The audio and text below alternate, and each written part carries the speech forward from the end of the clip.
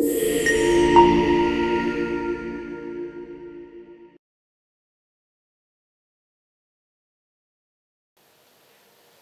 morning, everybody. I'm super happy to meet students over here. And thank you, Takshila Business School, for inviting me. I'll give a quick background to what I do and then why am I doing this presentation. Uh, like most of you, uh, I came from a certain background, grew up, worked in multiple industries, worked at corporate for many, many, many, many years. A point came in my life where I said, अब कुछ अलग करना है and I quit my corporate job and started my PhD program, my PhD journey, which hopefully I'll someday complete in next 12 months or so. In the process, I started working with this firm called Stanton Chase. We are one of the one of the top five, six search firms in the world. Um, this process of hiring leadership is extremely interesting. It's a business, it's an industry where all of you can make careers. So I'm going to talk about two, three things over here in my, I have about 15 minutes. So I'm going to talk about the higher education ecosystem in India right now, the challenges, the opportunities, how to build over there and how can as students make fabulous careers or faculty, um, job change mat kariye, but you can make wonderful careers if you ever look at that. So when I was looking at photographs for my slide and I came on this beautiful photograph from Rajasthan. So I love the hospitality of this state always, all the time. So thank you for inviting me here. So we are a 1.4 billion, it's a large nation. We are at a change, we are the cusp of change. And this change will be seen by all of you there's a huge growth in the education as an industry. Don't think of education as students over here for the next 15, 20 minutes. Think of education as an industry, as a business, even though it's, we may not like to use the word business over here. It's greatly growing, but there are too many gaps and too many challenges. Anybody who can solve even half of those challenges, even half of them, will not even, not just make tons of money, but will make brands which will go global if you solve even half of your challenges. So case study karte honge aap log. You must have looked at problem statement. I'm going to tell you problem statements. If you can find solutions to them, or the people sitting over here, it's an amazing multi-million, billion dollar business opportunity also in long term. How to make money in education is simple as well, but that I'll keep aside. So in the last few years, in the bracket is the number of private universities. As of yesterday, we had 480 private universities, state private universities in India, as of yesterday. And there are about 1,146 universities. Now let's put this in context. We are 1.3 billion people. Imagine, or 1.4 billion people. Imagine 1 billion are living in villages or small cities. So about 400 million people US population is about between 350 and 375 million. The number of universities in United States, and imagine everybody lives in cities only over there, is more than double of India. Same set of population, we are not even half the number of universities. That's number one. The number of universities and business schools required in India are more than double of what it is today.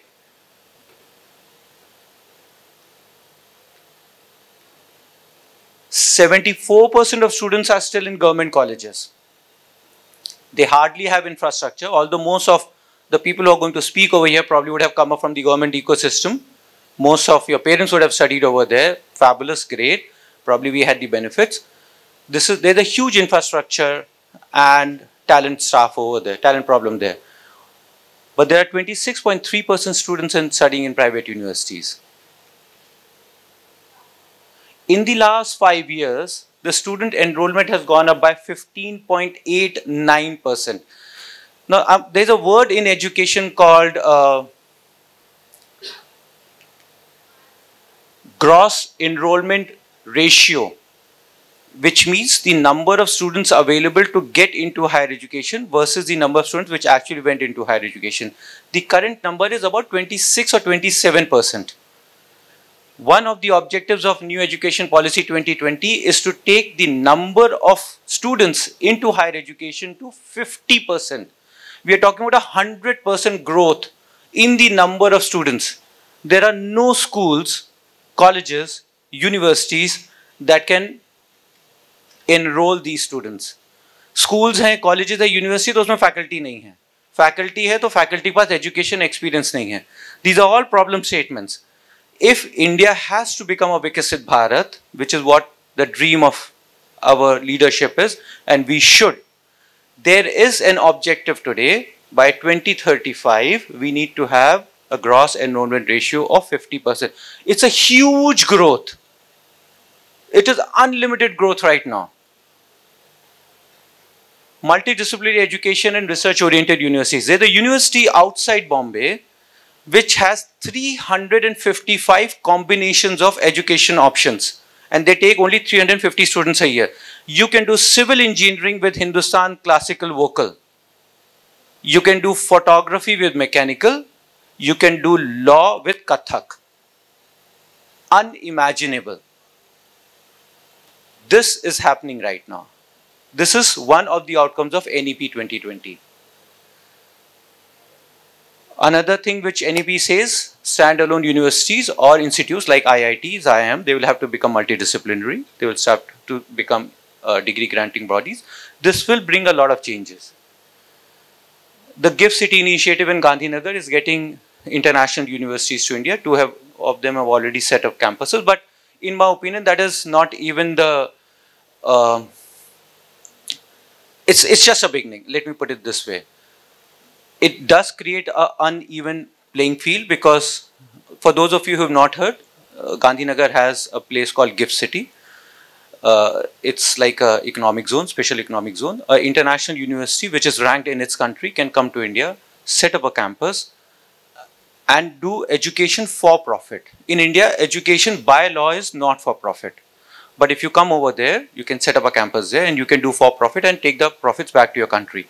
The rules within GIFT City are the rules which are the laws are signed or the contracts are signed in the courts of Singapore. So if the government of India does arbitration or takes a case against them, you'll have to fight the cases over there. So the international companies who are coming to GIFT City also feel safe that government ke laws overnight change nahi honge. They are not going to hurt, hurt us or harm us. So that's something else which is coming. But start looking at this. Uh, can you, anybody, can you tell me how many sports science universities in India would be?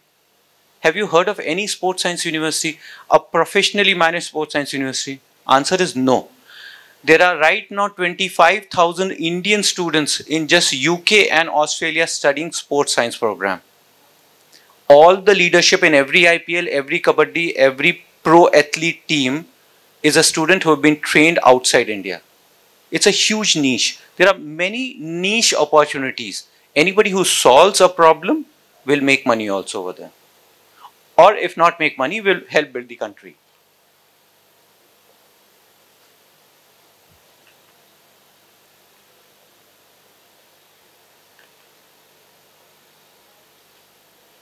This is, uh, can you go back please? If this slide doesn't scare you, nothing will scare you our quality of research and quantity of research is pathetic to say the minimum. अरे डर गया क्या per million population of India, we've got 216 researchers, 7,100 in South Korea. China has 1,200 researchers, 4,300 in US. क्या research कर रहे हैं हम कौन रिसर्च कर रहा है one of the reason is because we don't pay well. We don't pay well because we don't appreciate this. Therefore, the innovation happens wherever research happens. If you see where is, where are uh, next generation cars being made? China, Korea, US. What are Indian automobile companies doing? 20 years down the line, what will be the effect on Indian automobile companies? So there's a company in China called BYD. They make a fully automated, absolutely amazing self-driven car at 35,000 US dollars. Go a Google search, it, which sells in Mexico at 35,000 US dollars. Do a Google search and find out what's the entry price for a Tesla. Chinese company had a $1.2 billion subsidy from the government and Tesla has more than $20 billion subsidy from US government. What is the subsidy Indian government is giving to automobile manufacturers to work on AI? I'll come to that talent pool separately. The research in India is extremely low. This is quality. Quantity of research बहुत है India में बहुत paper छपते हैं because N I R F will ask NAAC will ask कि आपको paper छापने हैं quality of research quantity of research if you start going to depth of that research quality, you will understand what India is about.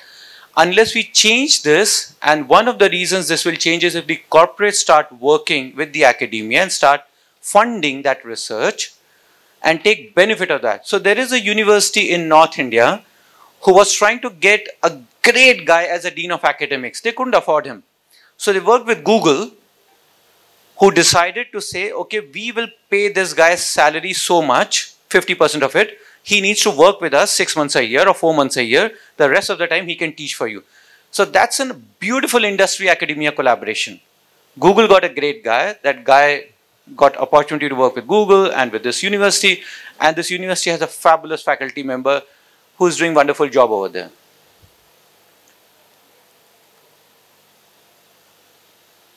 This is the reason why we don't do research we spend 0.69% of our GDP into research and innovation. How are we going to compete? ये विकसित भारत नहीं बनेगा this will need to change we will need to change and that money has to be spent in a better manner there is one university town in taiwan which does more patents than half of Indian universities put together. Just because there is investment doesn't mean there will be good quality of output. Investment, focus of that investment and industry's involvement with them will make a huge difference. You pay your faculty well, you pay your researchers well, and you make sure that the output that they do is industry relevant, funding will come automatically. Funding की कोई कमी नहीं है हिंदुस्तान में. But unless this changes, India is not changing. So what is stopping India higher education to become a global player? Regulations and compliances, I mean, I can't even cry enough about it. There's huge amount of red tape. There are enough bodies, which government is trying to simplify now. I must appreciate that there is UGC, there is AICTE, there is this, that, this, that, there is NAAC, NIRF, ranking. Uh, the way government functions is to make things not very easy. Thankfully, these are all changing now. Regulations and compliance is a major, major issue. Funding constraints, not enough funding, especially in the government ecosystem. Buildings हैं teachers नहीं हैं labs नहीं हैं um, tools नहीं हैं कैसे पढ़ाएंगे शिक्षक हैं but if you don't give them ability to teach, how do they do it? There is a machine called NGS, Next Generation Sequencer, a good machine, I was telling earlier, uh, a good NGS costs about a million dollars. So uh, NGS is used when you want to do a gene test. Imagine somebody in your family, some relative, some friend had um, a cancer has been detected. So the doctor will say there are four lines of treatment, but we would rather be sure whether the chemotherapy will work or whether this drug treatment will work. So let's get a gene test done. A gene test will be a 6, 8, 10, 12 panel gene test will be done. This test is done in a machine called NGS. It's called Next Generation Sequencer. That machine takes about 20 samples at a time. Machine costs about a million dollars. You run that test, the test output will tell the doctor whether this medicine will or will not work. To a great extent, the doctor will be able to say, you know, हमें इसको chemotherapy नहीं करनी चाहिए. We should straight go into a phase two of the treatment. So that saves the quality of life, saves money, saves time, and improves the quality of outcome of treatment. Uh, diseases by law now need a, a gene test for treatment to be done. For example, lung carcinoma. In India, there's no such law. I'm sure it will come sooner or later. NGS treatment is not even, the test is not even com, uh, covered in your insurance. So the insurance company won't cover it. But this has to be taught at the school, college or university level. How many universities, genomics labs have an NGS machine? Hardly. So you'll have to go to a private center to even see how a machine works.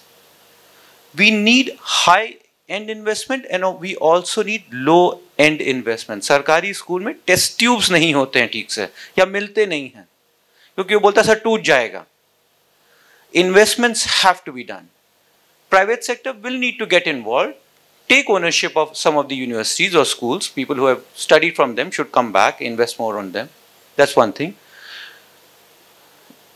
infrastructure is an issue. Qualified manpower is an extremely large issue, and this is one reason why I wrote this white paper, which was published a few days back, because I'm in search, I hire people. I hire people in multiple levels. Qualified manpower is a huge challenge. If you pick up the top 50 private Indian universities, go to the NIRF ranking page website, pick up 50 universities, pick up 100 universities. Out of those 100 universities, pick up any 50 universities which have a computer science program. Then go and see, is the dean a full professor, associate professor, assistant professor, or do they even have a full professor? We are talking about AI. We are talking about changing the world. We are talking about semiconductor industry. We are talking about getting in great talent in India. To get great talent, you also need good talent in faculty, in education. It has to be on both sides if there is no talent who can teach, how are we expecting students to do wonders? Why is there no talent? One of the reasons is money. If you have a great background in academia, global exposure, and you understand numbers, there is a lot of money in corporate world. Education is a passion for most people. Ask your teachers. They will say it's a calling, therefore they teach. But why should teachers be paid less just because it's a calling? This again needs industry to get involved with academia and make sure that they can help funding. In my opinion, after working in this sector for about three, four years, I have been to more than 50 campuses of private universities. I'm 100% sure there will not be many people who would have gone to so many campuses. I meet a lot of people who are owners, promoters, talk to them. I meet people who are in faculty. I meet people in government sector. I meet policymakers. In my opinion, this is what's going to change. Or these are the levers. If you can solve a couple of them, you will have a university or an institute which will make huge amount of difference. And I can give examples with names innovative, flexible academic programs. I told you, you know, you could do classical Hindustani vocal with civil engineering. Why not? Father says engineer banna, bete ko artist banna. दोनों कर लो अब तो available है it is possible now global partnerships twinning degree, twinning dual degrees, student mobility into universities which are of repute, not just for the sake of that. Research and innovation. We seriously need huge amount of investment in research and the outcome of that research. Research should not be for the sake of research. Skill development. We are not building a nation only for 400 or 350 million people. We are 1.4 billion people. There has to be skill development at multiple levels. NSDC started a lot of work. It has slowed down a little bit. I believe after election they'll probably do more. Uh, so this is something which again is, if you can crack this, great. Technology adoption. So I'm a PhD scholar in a university, they still send out a mail to everybody, fees bharo. Without realizing मैंने fees भरी है कि नहीं भरी है अरे एक simple सा सॉफ्टवेयर आता है उसको लगा लो भाई अगर मैंने फ़ीस भरी है तो मुझे मेल नहीं आएगा why can't life be simpler technology at so many levels. There can be smart campuses. There are smart cities today. There can be smart campuses right from student being enrolled on the website to the student passing out and his degree and everything. A technology can be used at multiple places. A lot of institutes are doing. Those who do it better will be in a better position. This is the reason why I work. uh, I do leadership hiring. I hire vice chancellors, pro vice chancellors, CEOs, deans, directors, a lot of people in non-academics also. I meet people all over the world. I hire in India. I do leadership hiring between Saudi Arabia and Australia. Every country is different. Every region is different. Institutes are different. Cultures are different. I look at the cultural aspect. Um, I do work in higher education. I work in real estate. I work in infrastructure. Um, I work in multiple sectors. I build supply chain logistics teams for companies. I work in healthcare, life sciences. I have that background, etc. In higher education, this is a problem that I see. Leadership doesn't focus on P&L. If you can get leadership which can focus on numbers and P&L, absolutely amazing. If you are doing research, publish in high quality journal. A star to koi baat hi nahi karta. But at least publish in Scopus ABC journals, Q1, Q2 journal. Look at the quality of administrative roles. So when I interview people and I talk to people, whether they are at non-academic level or academic level, I look at what's the depth of work that you have done. And this is what the promoters will see when they hire people as deans or vice chancellors. A psychometric test is extremely normal today. Most of the people in academia would have probably never done that, but that's very, very normal. You should all get it done once at least, a Hogan or a Thomas assessment test. And then global exposure. Any university, any institute, in fact, any business who can get leadership people who can focus on P&L will make a difference. What's our future is limitless. I'm extremely bullish on India. I see Indian talent going everywhere across the world. I see Indian academia going everywhere. IIT Madras opened its first campus in Zanzibar last year. All, uh, there's IIT campus opening in UAE now. So we, are, we have amazing people. The future is absolutely amazing. Right now, I'm working with three large business groups who have not officially announced a university, but they're setting up greenfield universities. One of them is India's first sports science university. There is another university which is multidisciplinary, but extremely detailed focus on AI. And there's one more third coming up. So there is a lot happening from a student who are looking at building a career. Higher academia can be a great place to be.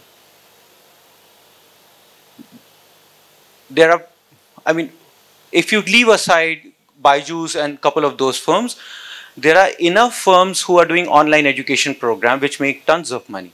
So if you can solve a problem statement as a student, there is career growth over there.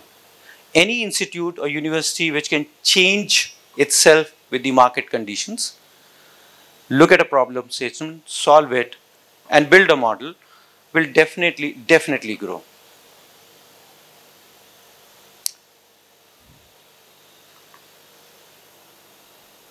Yeah, next another. I think that should be the last one. Yeah. So I I firmly believe that we are at a place where we can only see positive changes. We've got great leadership in the country.